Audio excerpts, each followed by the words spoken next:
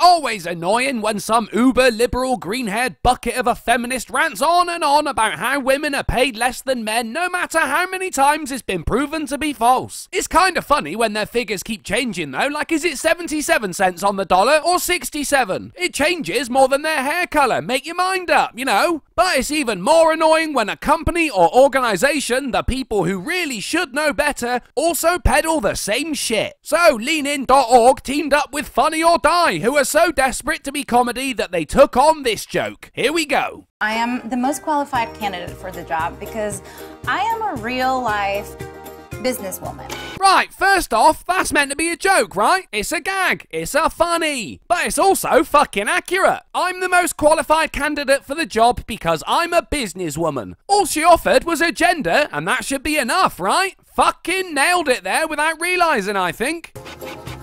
Okay, that's really stupid. You're damn right it's stupid, Grace, but that's the reasoning behind why we should have more female CEOs and world leaders. It's an argument so stupid that videos like this take the piss out of it without even meaning to. What? There's like 20% missing. Ah, because of the pay gap, you see? Oh, how clever. Could just be the printer, though. Those things are cunts. I remember in university we had a strict deadline to turn in our essays, so on the day everyone arrives to print out their stuff, and all the fucking printers in the building stop working. True story, that. They're absolute cunts. Girl, please be home. Hey, I should have 20%. Why are you dead? Ah, because of the pay gap again, see? Could be because it's an iPhone, though. Those batteries are cunts. Never mind this bin only had 20% of power. Why didn't you charge it overnight like the rest of us? Ah, probably the pay gap. Oh, sorry. Here, you go. Large dark roast for Carol. Well, the wage gap isn't hurting her too much if she can afford to piss away all her money on large dark roasts. It's black coffee, Carol. You can make it at home. Make an effort, you wench. This looks a little low. Large dark roast for Lucy.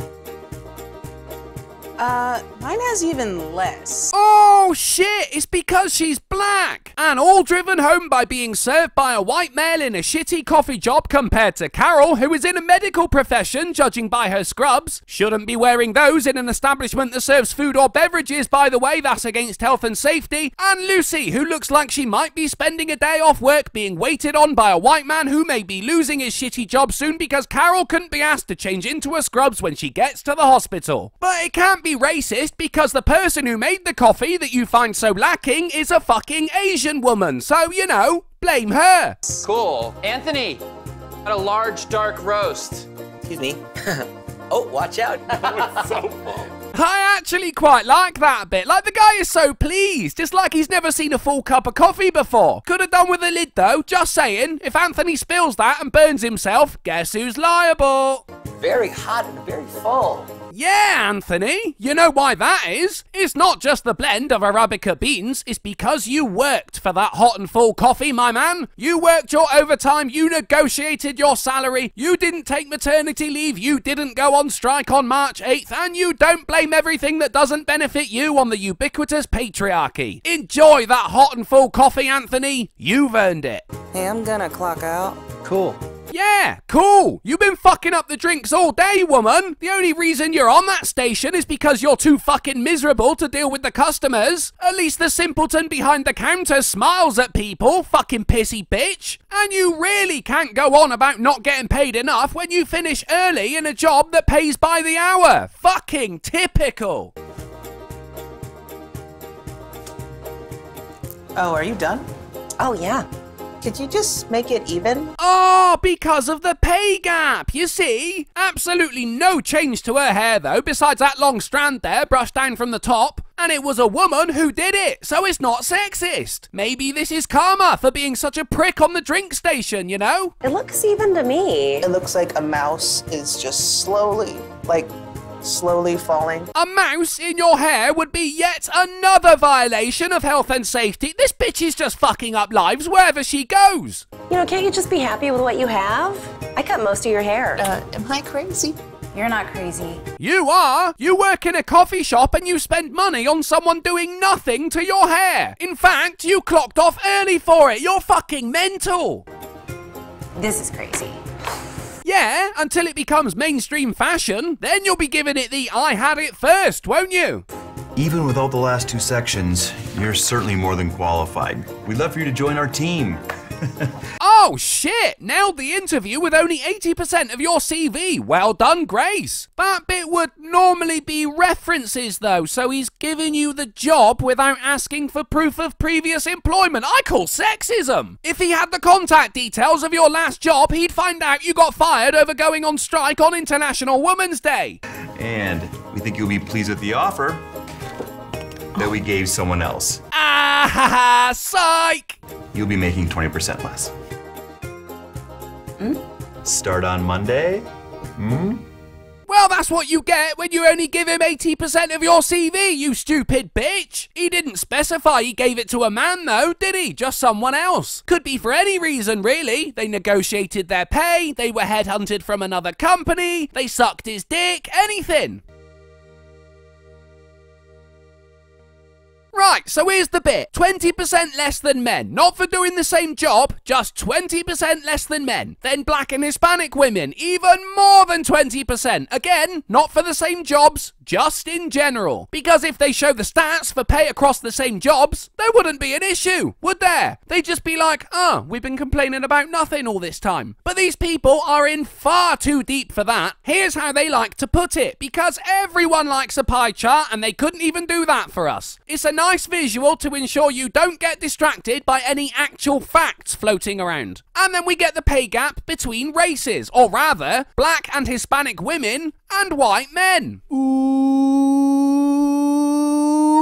where's the black and Hispanic men? Doesn't fit the narrative, I bet. And when did this become about white men? I know it's a stereotype, but what do you think of when someone says Hispanic woman and employment? Because I think house cleaner. Nothing wrong with that. I've been a cleaner in my time. It's a noble profession. But that isn't going to pay as well as, say, being an astronaut, is it? Now, off the top of your head, how many female Hispanic astronauts do you know of? They even present the actual facts in such a way that makes it seem even more unfair. Here we have their representation of the earnings gap, which is the genuine one, the real one. There is disparity between the earnings of males and females down to them taking different jobs. When it has been stated many times that there aren't many women in STEM fields in comparison to men, and then we have this diagram here showing us there aren't as many women in highly paid jobs as there are men, the conclusion isn't, well then I'm gonna study like a motherfucker and get one of those highly paid jobs. No, it's actually society is to blame. Here we have an actual diagram showing they have no one to blame but themselves. Earnings gap, not wage gap, but it's still wrapped in the guise of women aren't paid as much as men. So, pretending they are correct and women are actually being paid less than men, what can a company do to ensure they earn the same for the same job? Well, we've got some pointers on how to run a company from a group of people who clearly don't understand what numbers mean. Number one, Conduct a pay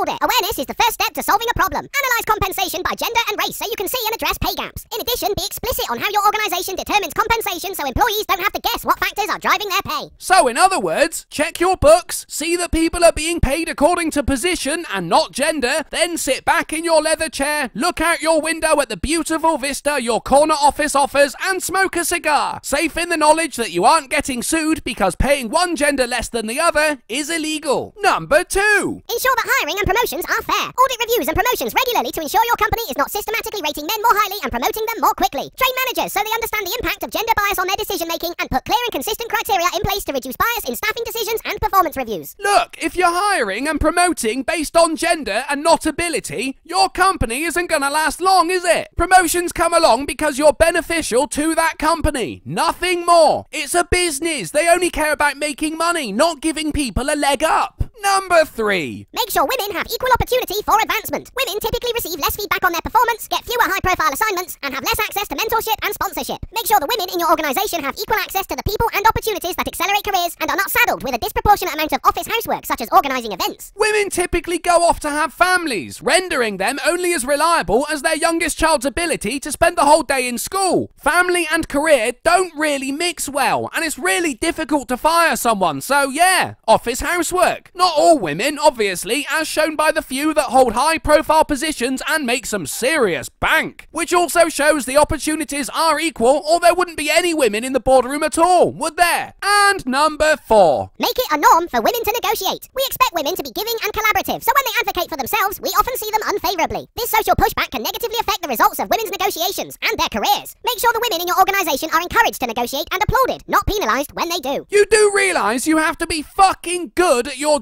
job in order to successfully renegotiate your pay, don't you? It's not based on how long you've been working there or that you bring cakes in every Wednesday. You have to show you deserve to be paid more than you already are. And a company is only going to agree to that if you're an asset to them. They don't increase pay lightly. So why the fuck would they encourage people to attempt it? That would be a massive waste of time and money. Two things greatly valued in business. The people pushing this narrative have no idea how much they're making women look like weak, frail creatures who need help at every corner. And that's not the case for all women, just feminists. Thanks for watching, guys. I'm spreading my roots out a bit and uploading to Dailymotion and VidMe just in case this channel gets shut down, which, let's face it, could happen any day. So make sure you find me over there. Please consider becoming a patron to support this channel. And remember, calling your boss a misogynist is a sure way to get promoted.